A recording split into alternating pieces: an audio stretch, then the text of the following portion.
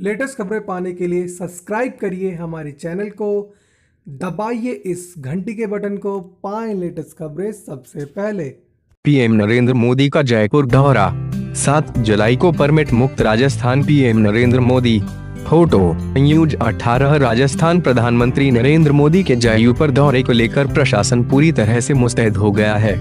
परिवहन विभाग ने 7 जुलाई को सभी वाहनों को परमिट की आवश्यकता से मुक्त कर दिया है। 7 जुलाई को राजस्थान के सभी जिलों एवं अन्य राज्यों से जयपुर आने जाने वाले यात्री वाहनों को परमिट की अनिवार्यता से मुक्त किया गया है। राज्य सरकार ने मोटर वाहन अधिनियम 1988 की धारा के तहत प्रदत्त शक्तियों के तहत लोकहित में यह निर्णय लिया है।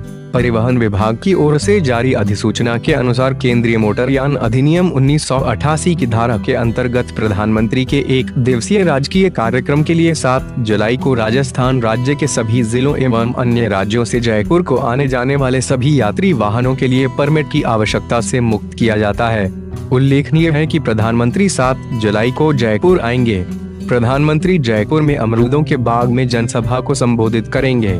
अपने दौरे के दौरान प्रधानमंत्री नरेंद्र मोदी केंद्र एवं राज्य सरकार की योजनाओं से लाभावंत लाभार्थियों से संवाद करेंगे। प्रधानमंत्री की जनसभा में तीन लाख लोगों के आने का लक्ष्य रखा गया है।